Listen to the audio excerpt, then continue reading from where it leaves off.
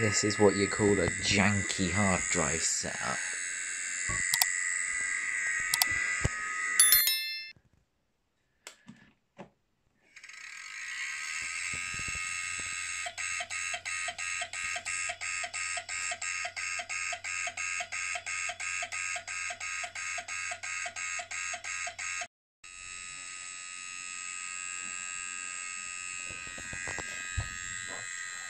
Hundred percent usage and it's not even a kilobit a second.